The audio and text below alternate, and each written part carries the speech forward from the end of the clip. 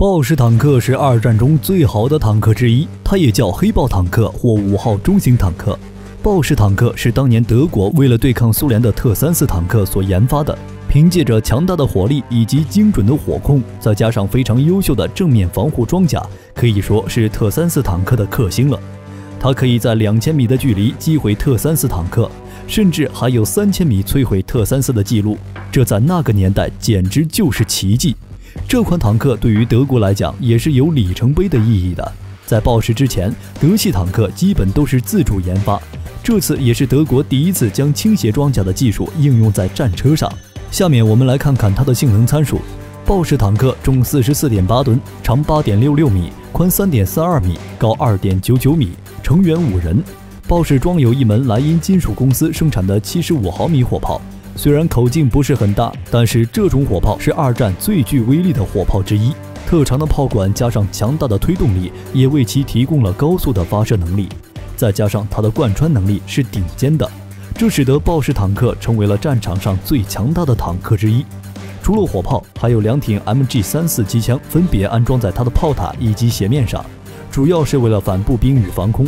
动力系统方面，豹式的设计则是很德系。豹式安装了一个可以提供七百匹马力的迈巴赫 HL 二三零 P 三零 V 十二汽油发动机，这种发动机一般可以承受连续进行两千公里的负荷。为了减少故障，开发人员还将发动机的转速下调到了每分钟两千五百转，行进速度则是每小时四十六公里。另外，豹式还有许多衍生版本。按时间来算，其中包括 D 型、A 型和 G 型，以及最开始的最初型。除了这些，还有一些指挥车、观察车和救援车。其中生产最多的就是 A 型和 G 型。豹式的 A 型车相比之前的 D 型，主要是在火力和防护方面都有增强。A 型的炮塔正面装甲厚度达到了一百毫米，辅助武器也增加了两挺 MG 三四机枪。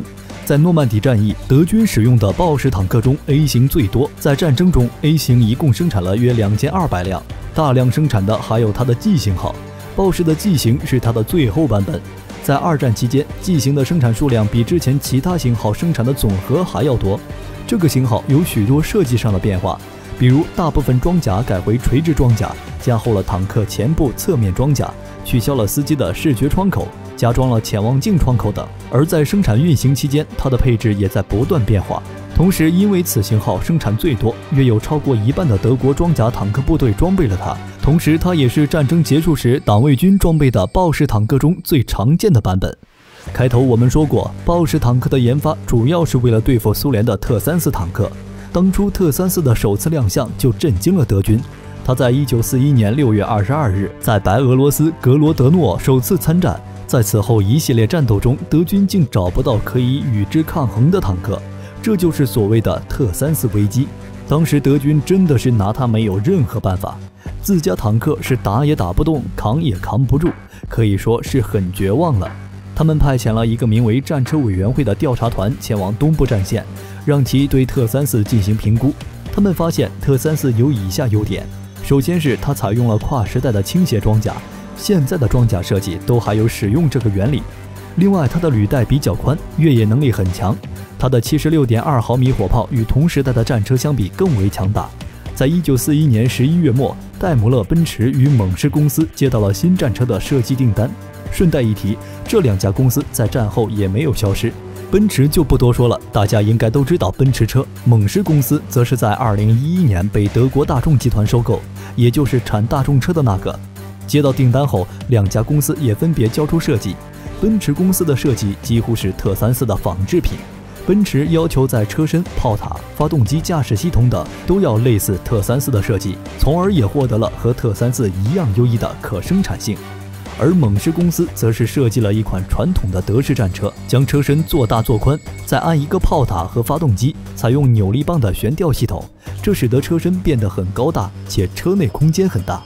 一开始，希特勒是想采用奔驰的方案的，但最终还是选择了猛狮的版本。一方面是猛狮的设计可以直接使用莱茵金属公司设计的现成炮塔，而奔驰设计的炮塔却需要重新设计生产。除此之外，还要考虑到战场识别度的问题，因为它和特三四实在太相似了，到时候误伤了就不好了。但奔驰的设计被淘汰的最终原因还是因为它的可生产性太强，以至于牺牲了性能优势。这种坦克更适合消耗战，而不是当时德军的闪电战，也不符合德军当时的战术要求，所以最终采用了猛狮的设计。同年十二月，坦克正式投产。因为德国对这种坦克的需求量非常大，所以在一九四三年以后，豹式坦克不再是猛士的专利，并开始由德国的数家公司分担生产。该坦克制造起来并不轻松。猛狮公司初期预计一个月能够生产二百五十辆豹式坦克，但在一九四三年一月，他却把目标提高至生产六百辆。但因为设计上有些问题，再加上盟军一直进行轰炸骚扰，而且原材料来源有限。在一九四三年间，平均一个月只能生产一百四十八辆豹式坦克，在第二年才能月产三百一十五辆。直到战争完结，德国总共生产了六千辆以上的豹式坦克。豹式坦克首次参与的大规模战役是一九四三年对苏联发动的库尔斯克战役。刚服役的时候，豹式的驾驶员其实都被很多机械问题所困扰，比如坦克的履带和悬吊系统老是出问题，引擎还容易过热。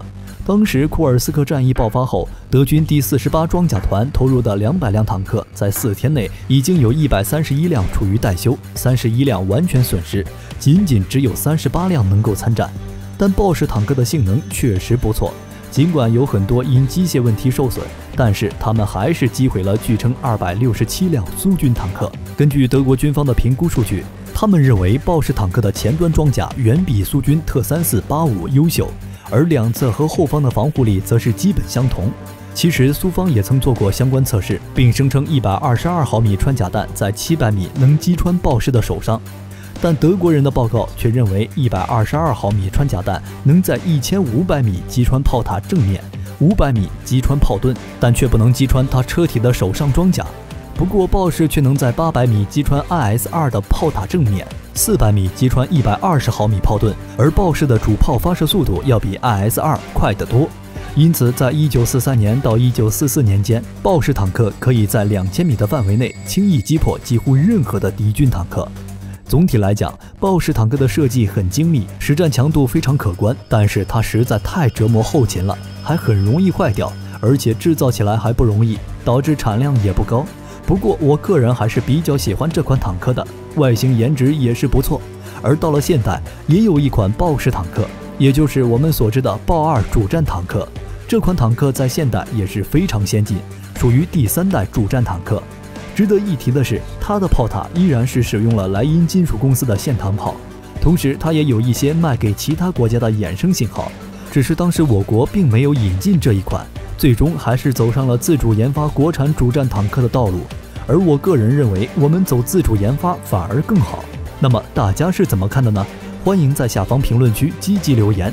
好了，今天的武器介绍就到这里了，想了解更多，记得关注加一哦。明天我们不见不散。